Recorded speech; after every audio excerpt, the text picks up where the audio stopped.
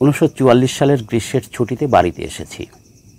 কলকাতা থেকে ছোট কাকাও এসেছেন। তিনি ফি বছর জ্যৈষ্ঠ মাসে বাড়ির আম, জাম, কাঁঠাল, তরমুজ ইত্যাদি খেতে বাড়িতে আসতেন। গ্রামের লোকেরা, বিশেষত যুবক সম্প্রদায়, কাকাকে ভালোবাসত। তার কথা সবাই মানত। বাড়িতে এসে শুনলাম শ্যামাপ্রসাদ মুখার্জির আশীর্বাদে ফরিদপুর জেলার নম অঞ্চলের রামদিয়া গ্রামে সমাজসেবক পিয়ার ঠাকুর, চন্দ্রকান্ত বোস এবং রমেন মল্লিকের প্রচেষ্টায় একটি কলেজ হয়েছে। তেমনি একটি কলেজ স্থাপন করতে শ্যামাপ্রসাদ আমাদের বাড়ির কাছে লরা গ্রামে আসবেন। তার সঙ্গে আসবেন বর্ধমানের মহারাজ উদয়চাঁদ মহতাব। শুনলাম লরা গ্রামে কলেজ করতে সাহায্য করেছেন Hindu মহাসভার general secretary N C Chatterjee এবং খুলনার জমিদার শৈলেন্দ্রনাথ ঘোষ মহাশয় সহ আরও অনেক বিশিষ্ট ব্যক্তিরা। কলেজ করার জন্য সবথেকে বেশি টাকার প্রতিশ্রুতি দিয়েছিলেন বর্ধমানের মহারাজ উদয়চাঁদ মহতাব। তাই গ্রামের লোকেরা আনন্দে নিজেদের গ্রামের নাম পাল্টে উদয়নগর রাখল। এলাকার সব গ্রামে সারা পড়ে গেল। শ্যামাপ্রসাদের সভায় যাবার জন্য গ্রামে গ্রামে প্রস্তুতি শুরু হয়ে গেল।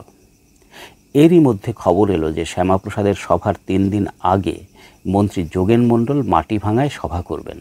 সেই দিন যোগেনবাবুর সভায় যাবার জন্য নদীর পাড়ে দল বেঁধে খেয়াঘাটে উপস্থিত হলাম।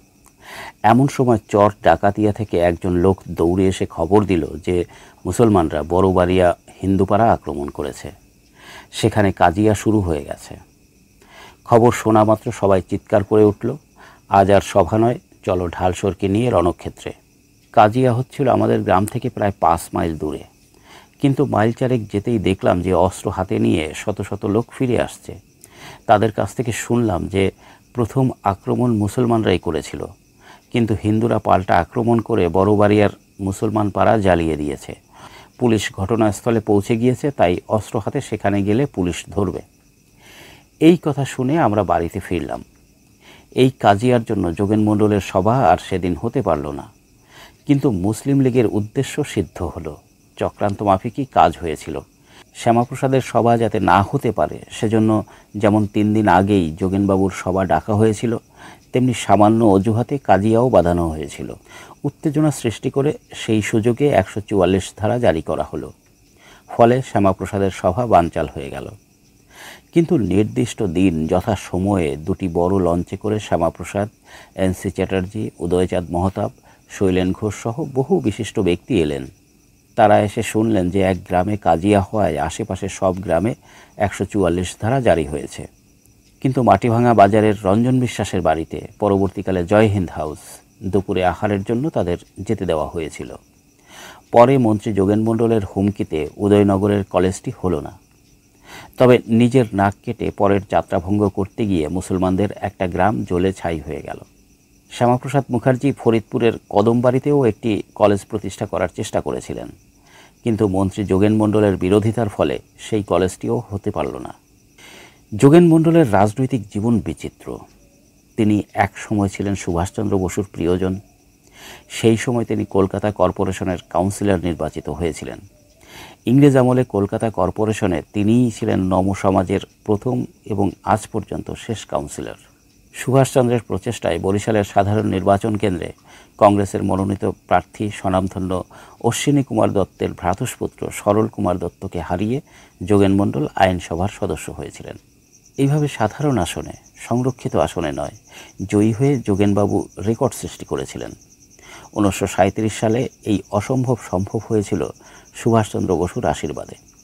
ফজলুল হক এবং শ্যামাপ্রসাদ মুখার্জি শ্যামা হক কোয়ালিশন সরকারে নবসম্প্রদায়ের মন্ত্রী ছিলেন খুলনার মুকুন্দ বিহারী মল্লিক। যোগেনবাবু নিজে মন্ত্রী হবার লোভে এবং অনুন্নত সমাজের আরও কিছু বিধায়ককে মন্ত্রী করার লোভ দেখিয়ে তাদের সঙ্গে নিয়ে কংগ্রেস থেকে বেরিয়ে এসেছিলেন। তারা মুসলিম লীগের সঙ্গে হাত মেলালেন। তা দেখেই গভর্নর প্রধানমন্ত্রীর পদ থেকে হক সাহেবকে বরখাস্ত করেন। তারপর নাজিমুদ্দিনের নেতৃত্বে গঠিত হয়েছিল মুসলিম লীগের মন্ত্রিসভা। এই সরকার ভাঙা গড়ার খেলায় ওই পিছিয়ে পড়া সম্প্রদায়ের কয়েকজন বিধায়কের ওপর সব কিছু নির্ভর করছিল। তাই তাদের মধ্যে তিনজনকে মন্ত্রিসভায় নিতে হয়েছিল। কিন্তু তারা ছিলেন গৌণ। যোগেনবাবুই ছিলেন মূল চাবিকাঠি। যোগেনবাবুর সাহায্য ছাড়া মুসলিম লীগের পক্ষে সরকার গড়া সেদিন সম্ভব ছিল না। নাজিমুদ্দিন সরকার গঠিত হওয়ার সঙ্গে সঙ্গে সাম্প্রদায়িক প্রচার জোর কদমে শুরু হয়ে গেল। কংগ্রেস চালাচ্ছিল ভারত ছাড়ো আন্দোলন আর পাল্টা হিসেবে সেদিন মুসলিম লীগের পাকিস্তান আন্দোলন, যা ছিল জাতীয়বাদ ও স্বাধীনতা সংগ্রামের বিরোধী। তাই ব্রিটিশ সরকার মুসলিম লীগকে পুরোপুরি সাহায্য করছিল। যোগেন মণ্ডল ছিলেন সুচতুর, সুবক্তা, কিন্তু লোভী। মন্ত্রিত্বের লোভ দেখিয়ে কংগ্রেস থেকে তাকে সঙ্গী সহ বের করে আনা হয়েছিল। এর কিছুদিন আগে ডক্টর আম্বেদকরকে ভাইসরয়ের এক্সিকিউটিভ কাউন্সিলের লেবার মেম্বার, অর্থাৎ কেন্দ্রীয় শ্রমমন্ত্রী করা হয়েছিল। এই পদ পেয়েই তিনি রাতারাতি all India scheduled caste federation গঠন করেছিলেন। পরে যোগেনবাবুকে করা হলো ফেডারেশনের বাংলা শাখার সভাপতি। এর পর থেকে আম্বেদকর এবং যোগেনবাবু দুজনেই কংগ্রেস এবং বর্ণ হিন্দুদের বিরুদ্ধে জোরালো বক্তব্য রাখতে লাগলেন। প্রকৃত সত্য হলো, ইংরেজ ও মুসলিম লীগ বুঝেছিল যে পাকিস্তান আদায় করতে হলে হিন্দুদের মধ্যে ভাঙন ধরাতে হবে। এক শ্রেণির হিন্দুর সমর্থন জোগাড় করা তাদের পক্ষে ছিল অত্যন্ত জরুরি। বিশেষ করে নম সমাজের সমর্থন পেতেই হবে, তাই যোগেনবাবুকে তাদের প্রয়োজন ছিল। যোগেনবাবু তার কংগ্রেসি ঐতিহ্যের কথা ভুলে গেলেন। হিন্দু সমাজের মধ্যে বিভেদ সৃষ্টি করতে এবং এই বিভেদকে চাঙ্গা করে তুলতে অবিলম্বে তিনি মাঠে নেমে পড়লেন। বর্ণ হিন্দুদের বিরুদ্ধে তীব্র বিষোদ্গার করতে শুরু করে দিলেন। মুসলমানদের সাম্প্রদায়িক আক্রমণে ভীত হয়ে বাংলার হিন্দু সমাজ তখন নিজেদের মধ্যেকার উঁচু নিচু ভেদ দূর করতে উদ্যোগী হয়েছিল। জল চল করতে সব জেলায় একত্রে পঙ্ক্তি ভোজনের ব্যবস্থা করা হচ্ছিল। হিন্দুদের এই ঐক্যবদ্ধ প্রচেষ্টাকে বানচাল করতে দাঁড় করিয়ে দেওয়া হয়েছিল ডক্টর আম্বেদকর এবং যোগেন মণ্ডলকে। তারা প্রচার করতে লাগলেন যে তপশিলীরা হিন্দু নয়, মুসলমানদের মতোই অহিন্দু। তারা এক পৃথক জাতি। মুসলমানদের পাকিস্তানের মতন তারাও চায় অচ্ছুত স্থান। নাজিমুদ্দিনের মুসলিম লীগের সরকারের আমলে বাংলায় হয়েছিল ভয়ঙ্কর দুর্ভিক্ষ। পঞ্চাশের আকাল নামে তা কুখ্যাত। সেই ভয়ানক দুর্ভিক্ষে প্রায় পঞ্চাশ লক্ষ লোক মারা গিয়েছিল। মুসলমানরাই মরেছে বেশি, দলে দলে। তবুও তারা ক্ষুব্ধ হলো না। কেননা তারা মনে করেছিল যে মুসলমানরাই তো বাংলার রাজা হয়েছে। সরকার যাই করুক, মুসলিম স্বার্থই রক্ষিত হবে। পাকিস্তানের পক্ষে প্রচারও বাড়ছিল। কংগ্রেস নেতারা তখন বন্দী হয়ে জেলে রয়েছেন। হাজার হাজার দেশপ্রেমিক যুবক গ্রেপ্তার হয়েছেন। ইংরেজ সরকার কংগ্রেসকে নিষিদ্ধ ঘোষণা করেছে। মুসলমানরা সেই সুযোগে পুরোপুরি কাজে লাগালো। তারা সাম্প্রদায়িকতার বিষ ছড়াতে লাগল। হিন্দুদের বিরুদ্ধে জেহাদের প্রস্তুতি নিল। সেই সঙ্গে সঙ্গে যোগেন মণ্ডলও পাকিস্তানের পক্ষে ধুয়ো টানলেন। সেই সময় যোগেনবাবুর বক্তৃতায় স্বাধীনতার ব্যাপারে কোনো কথাই থাকতো না।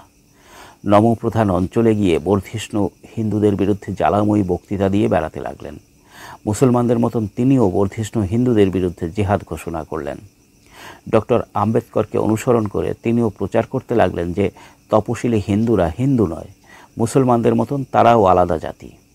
তিনি বলতেন যে বর্ধিষ্ণু হিন্দুরা হিন্দু জাতি আর তপশিলীরা তপশিলি জাতি। সেই সময় ব্রিটিশ ভারতে বিজাতীয়তাবাদী কমিউনিস্টরাও ভারতে ভিন্ন ভিন্ন অনেক জাতির অস্তিত্বের তত্ত্ব আমদানি করল। ভারতে হিন্দু, মুসলমান, খ্রিস্টান ইত্যাদি মিলিয়ে একটিমাত্র জাতি রয়েছে এ কথা কমিউনিস্টরা মানত না। তারা ভারতীয় জাতীয়তাবাদেও বিশ্বাস করত না। তাদের বহুজাতি তত্ত্বকে মুসলিম লীগ লুফে নিল। ফলে Muslim league, communist party, doctor Ambedkar, Jogen Mandal এবং তাদের শিডিউল্ড কাস্ট ফেডারেশনের চেষ্টায় পাকিস্তান আন্দোলন দানা বেঁধে উঠল। আর পিছন থেকে মদত যোগাল ইংরেজ সরকার। গোটা দ্বিতীয় বিশ্বযুদ্ধের সময় জুড়ে জাতীয়তাবাদীরা হলো লাঞ্ছিত এবং অত্যাচারিত। স্বাধীনতার সংগ্রামে তারা নিজেদের দিয়েছিল আহুতি। হাজার হাজার কর্মী জেলে গেল। সেই সুযোগে মুসলিম লীগ ও তাদের দোসররা ফাঁকা মাঠে গোল দিল। এরকমের একটা পরিস্থিতিতেই বিশ্বযুদ্ধ শেষ হলো। তার ঠিক পরেই ঘোষিত হলো প্রাদেশিক আইনসভার নির্বাচন। উনিশশো ছেচল্লিশ সালে নির্বাচন হয়ে গেল। বাংলায় মুসলমানদের জন্য নির্দিষ্ট আসনের মধ্যে মাত্র পাঁচটি পেল ফজলুল হকের কৃষক প্রজা পার্টি। বাকি সব আসনই পেল মুসলিম লীগ। তখন দেশভাগ হয়নি। কিন্তু পশ্চিমবাংলায় প্রায় সব মুসলমানই ভোট দিয়েছিল মুসলিম লীগকে। সারা ভারতে শিডিউল কাস্ট ফেডারেশনের মাত্র একজন প্রার্থী নির্বাচিত হলেন। তিনি যোগেন মণ্ডল। মুম্বাই থেকে ডক্টর বি আর আম্বেদকর নির্বাচনে হেরে গেলেন। পরে তিনি বাংলা থেকে কেন্দ্রীয় আইনসভার সদস্য নির্বাচিত হয়েছিলেন। মুসলিম লীগের সাহায্যে এবং ব্রিটিশ রাজের প্রচ্ছন্ন আশীর্বাদে। নির্বাচনের পর সুরাবর্দির নেতৃত্বে বাংলায় মুসলিম লীগের মন্ত্রিসভা গঠিত হল। যোগেন মণ্ডল সেই মন্ত্রিসভার সদস্য হলেন। অন্যদিকে ইংরেজ ভারত ছেড়ে যাবার সিদ্ধান্ত নিতে বাধ্য হলো। তারা ভারতে ক্ষমতা হস্তান্তরের বিষয়ে আলোচনার জন্য ক্যাবিনেট মিশন পাঠালো। ক্যাবিনেট মিশন কংগ্রেস এবং মুসলিম লীগকে সমান মর্যাদা দিয়ে আলোচনা চালালো। কিন্তু তাদের সুপারিশ কংগ্রেস বা লীগ কেউই গ্রহণ করল না। তবু সরকার গণপরিষদের নির্বাচন ঘোষণা করল। নির্বাচনের পর জওহরলাল নেহেরুকে করা হলো অন্তর্বর্তী সরকারের প্রধানমন্ত্রী। মন্ত্রিসভা এবং গণপরিষদের উপর সংবিধান রচনার ভার ন্যস্ত করল। মুসলিম লীগ প্রথম নেহেরু সরকারে যোগ দেয়নি। তারা উনিশশো ছেচল্লিশ সালের ষোলোই আগস্ট প্রতিবাদ দিবস পালনের ডাক দিল।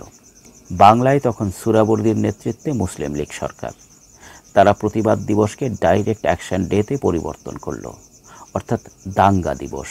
হাতে ছুরি নিয়ে লীগ রাস্তায় নামল। কলকাতায় রক্তগঙ্গা বইয়ে দিল। কলকাতার সেই মহা দাঙ্গা প্রথম দিকে বয়ে গিয়েছিল শুধু হিন্দু রক্তের ধারা। কিন্তু পরে মুসলিম আক্রমণের বিরুদ্ধে রুখে দাঁড়িয়েছিল হিন্দু ও শিখের মিলিত শক্তি। এই ঐক্যবদ্ধ শক্তি প্রথমে প্রতিহত করল মুসলিম আক্রমণ, তারপর হানল পাল্টা আঘাত। মুসলিম লীগ এর প্রতিশোধ নিল নোয়াখালীতে।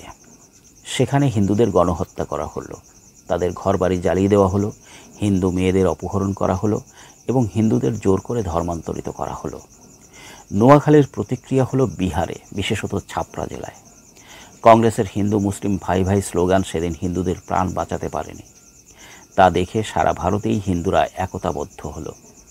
প্রথমে তারা মুসলিম আক্রমণ রুখে দিল, তারপর সারা দেশ জুড়ে পাল্টা আক্রমণের প্রস্তুতি নিল। ঘটনাস্রোত এভাবে মোড় নিয়েছে লক্ষ্য করে মোহাম্মদ আলী জিন্না প্রমাদ গুনলেন। ভারতে তখন চল্লিশ কোটি হিন্দু আর দশ কোটি মুসলমান। হিন্দুরা ঐক্যবদ্ধ হলে মুসলমানরা দাঁড়াতে পারবে না, এ কথা তিনি বুঝলেন। তাই তিনি মুসলিম লীগের সিদ্ধান্ত বদল করে কেন্দ্রীয় মন্ত্রিসভায় যোগদানের সিদ্ধান্ত নিলেন। প্রবল এই সাম্প্রদায়িক আবহাওয়ার মধ্যে সেদিন গণপরিষদের নির্বাচনে ডক্টর আম্বেদকরের নির্বাচিত হবার কোনো সম্ভাবনা ছিল না। কিন্তু ইংরেজ সরকারের অনুরোধে জিন্নার আশীর্বাদে সুরাবর্দির সহযোগিতায় এবং বাংলার মুসলিম লীগের প্রত্যক্ষ মদতে ডক্টর আম্বেদকর শেষ পর্যন্ত বাংলা থেকে গণপরিষদের সদস্য নির্বাচিত হলেন। প্রধানমন্ত্রী জওহরলাল নেহেরু তার অন্তর্বর্তী সরকারে তফসিলি সমাজের প্রতিনিধিরূপে জগজীবন রামকে মন্ত্রী করেছিলেন। তা দেখে ডক্টর আম্বেদকর লন্ডনে গিয়ে আরও একজন তপশিলি মন্ত্রী করার দাবি জানালেন। আম্বেদকরের উপর ব্রিটিশ কর্তৃপক্ষ কৃতজ্ঞ ছিল। তারা সরকারিভাবে কিছু উচ্চবাচ্য করল না। কিন্তু গোপনে জিন্নাকে অনুরোধ করল কেন্দ্রীয় মন্ত্রিসভায় মুসলিম লীগের তরফ থেকে একজন তপশিলি মন্ত্রী করা হোক। ব্রিটিশের ধারণা ছিল যে যেহেতু জিন্নার আশীর্বাদে আম্বেদকর গণপরিষদে নির্বাচিত হয়েছিলেন, তাই তাকেই মন্ত্রী করতে জিন্না আপত্তি করবেন না। তাই ডক্টর আম্বেদকরের নাম উল্লেখ করার প্রয়োজন তারা বোধ করেননি। জিন্না ছিলেন চতুর রাজনীতিবিদ। আম্বেদকরকে তিনি সেই সুযোগ দিলেন না। তিনি যোগেন মণ্ডলকে মুসলিম লীগের সহযোগী সদস্য করে নিলেন। মুসলিম লীগের কোটায় কেন্দ্রীয় মন্ত্রীরূপে যোগেনবাবুর নাম জিন্না অতি দ্রুত ঘোষণা করে দিলেন। কারণ জিন্না জানতেন যে আম্বেদকরের পূর্ণ আনুগত্য রয়েছে ব্রিটিশ রাজের প্রতি। মুসলিম লীগের প্রতি তার আনুগত্য কম। পক্ষান্তরে যোগেনবাবু ছিলেন পুরোপুরি মুসলিম লীগের অনুগত। এইভাবে মিস্টার জিন্না ব্রিটিশের অনুরোধের সম্মান দিলেন। লাহোর প্রস্তাবে পাকিস্তানের কোনো নামগন্ধ ছিল না। এই ঘাটতি পূরণ এবং পাকিস্তানকে হাইলাইট করতে হয়তো বা ব্রিটিশের ইঙ্গিতে ডক্টর আম্বেদকর তাড়াতাড়ি থটস অন পাকিস্তান নামে বইটি লেখেন এবং পাকিস্তানের পক্ষে যুক্তি দেখিয়ে তিনি তা সমর্থন করলেন। পরে নিজ স্বার্থে ব্রিটিশ রাজ তাকে শ্রমমন্ত্রী করেন। প্রতিদানে অতি তাড়াতাড়ি তিনি তপশিলি জাতি ফেডারেশন গড়ে সেই সভায় তিনি ঘোষণা করলেন যে তপশিলিরা হিন্দু নয়। তারা আলাদা জাতি। আর হিন্দু ও কংগ্রেসের বিরুদ্ধে তিনি ও তার দল যুদ্ধ ঘোষণা করলেন। কুইট ইন্ডিয়া ডাকে তপশিলীরা যাতে সাড়া না দেয়, তার জন্য রাজশক্তির বলে বলিয়ান হয়ে নবগঠিত ফেডারেশনের সাথে নিয়ে তিনি ব্যাপক প্রচার চালালেন। এসব দেখে মিস্টার জিন্না বুঝলেন যে ব্রিটিশ রাজ তার নিঃস্বার্থে ডক্টর আম্বেদকরকে মন্ত্রী করেছেন। তাই ঝানু রাজনীতিবিদ মিস্টার জিন্না ডক্টর আম্বেদকরকে সাংসদ করলেও মন্ত্রী না করে তার নিজ স্বার্থী যোগেন মণ্ডলকে মন্ত্রী করলেন। প্রতিদানে মুসলিম লীগের নির্দেশ মতন ফেডারেশনকে সঙ্গে নিয়ে যোগেনবাবু ও পাকিস্তানের পক্ষে ও ব্রাহ্মণ্যবাদী হিন্দুদের বিরুদ্ধে বক্তব্য রাখতে মাঠে নামলেন। ভারত ভাগের ভোটে তার দল ফেডারেশন পাকিস্তানের পক্ষে ভোট দেয়। বাংলা ভাগের ভোটে সব হিন্দু বাংলা ভাগের পক্ষে ভোট দিলেও তার দল ফেডারেশন বিপক্ষে ভোট দেয়। সেদিন ভাগ করে পশ্চিমবাংলাকে ছিনিয়ে না আনলে আজ হিন্দুদের বাংলার বাইরে যেতে হতো। আর সিলেট রেফারেন্ডাম তিনি নিজে ও তার দল ফেডারেশন পাকিস্তানের পক্ষে প্রচার চালায়। সেই প্রচারে ছাত্র ফেডারেশনের নেতা নীরদ রায়, সন্তোষ মল্লিক, কেশব রায়, খগেন বিশ্বাস, হরবিলাস বসু সহ অনেকে সিলেটে গিয়ে পাকিস্তানের পক্ষে প্রচার করেন। ফলে মাত্র কয়েক হাজার বেশি ভোট পাকিস্তানের পক্ষে পড়ায় সিলেট পাকিস্তানে চলে যায়। সেই সিলেটের বাসিন্দারা আজ আর ভারতবাসী নন, তারা বাংলাদেশি। সেখানে আজ গ্যাসের অফুরন্ত ভাণ্ডার।